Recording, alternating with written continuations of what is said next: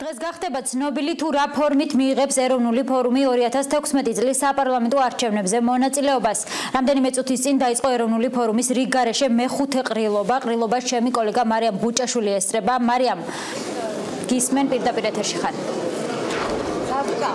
ამ წუთებში ექსპო ჯორჯიაში სარეიტინგო კენჭისყრის მეშვეობით ეროვნული ფორუმის წევრები ფარულად თავიანთ აზრს აფიქსირებენ იმასთან დაკავშირებით თუ რა ფორმით სურთ მათ საპარლამენტო არჩევნებში მონაწილეობა თუ რატომ გახდა ფარული კენჭისყრა რიგარეშე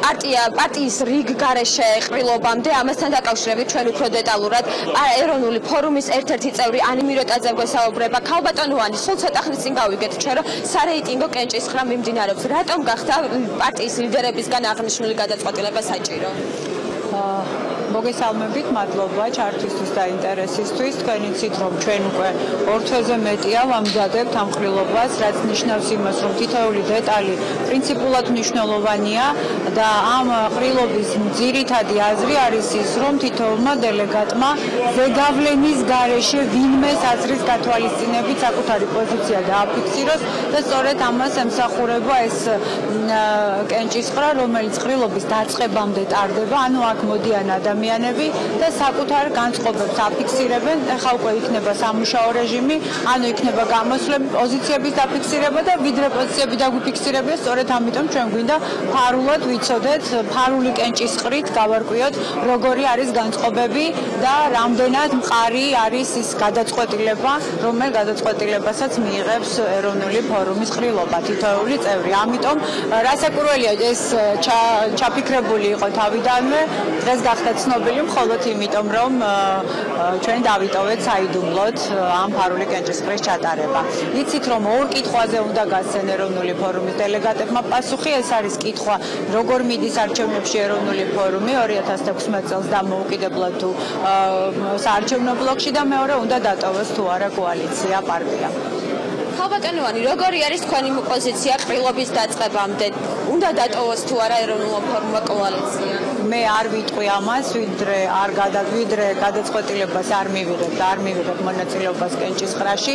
ერთი რამე შემიძლია გითხრათ, რომ დარწმუნებულია, რომ ჩემი განწყობები არაფრით არ განსხვავდება ჩემი პარტიის წევრების უმრავლესობის განწყობებისგან. რა შანსები აქვს ეროვნულ ფორუმს თუ დატოვებს კოალიციას წინა საარჩევნოდ? როგორ ფიქრობთ თქვენ, როგორია პარტიის ერთ-ერთი ლიდერის მოსაზრება? ყველა პოლიტიკურ ძალას აქვს შანსი სამართლიან თანაბარ დემოკრატიულ არჩევნებში საკუთარი შესაძლებლობები დადოს და საკუთარი ხმა მიიტანოს არჩევნებმა ამორჩევლამდე. თუ ეს იქნება უზრუნველყოფილი, რაშიც მე ეჭვი არ მეპარება ვინაიდან ჩვენ ერთხელ და სამუდამოდ თქვით უარი ხმების მოპარვაზე, როდესაც ხელისუფლებები ხშირ შემთხვევაში მოქალაქეებს ხმებს პარავდნენ და ამით იხარებოდნენ ხანგრძლივ ხელისუფლებაში ყოფნას, მაშინ მე მინდა გითხრათ, რომ ჩვენ გვაქვს ძალიან დიდი შანსი. თუ იქნება გაყალბება და ხმების მოპარვა, არა მხოლოდ ამა თუ იმ პარტიის მომავალი დადგება კითხვის ნიშნის ქვეშ, არამედ ზოგადად არჩევნების ლეგიტიმაცია, ასე რომ მე მყარად ვარ დაწუნებული იმაში, რომ ჩვენ ძალიან საინტერესო არჩევნები გველოდება წინ. ეროვნულ ფორუმს ყავს ძლიერი, ეროვნული ფორუმი არის ძლიერი პარტია, ჩამოყალიბებული სტრუქტურებით, ყავს რესურსი, აქვს პოლიცაბჭო, ყავს ლიდერები და დაწუნებული ვარ, რომ აქვს ხალხის მხარდაჭერა, ვინაიდან ჩვენ არ ვაპირებთ ხალხს უთხრათ ის, რასაც არ გავაკეთებთ, ან დავპირდეთ ის, რაც ის გაკეთებასაც ვერ შევძლებთ. ასე რომ მე ზუსტად ვიცი, როგორი იქნება ეროვნული ფორუმის მიმართ მოქალაქეების განწყობა. დიდი მადლობა ეს იყო ეროვნული ფორუმის ერთ-ერთი ლიდერი ანი მიროტაძე მე კი როგორც გითხარით ამ წუთებში სარეიტინგო კენჭისყრა მიმდინარეობს სადაც ეროვნული ფორუმის წევრები თავიანთ აზრს აფიქსირებენ თუ რა ფორმით სურთ მათ 2016 წლის საპარლამენტო არჩევნებში მონაწილეობა რის შემდეგაც დაიწყება უკვე რიგარეშე მეხუთე ყრილობა.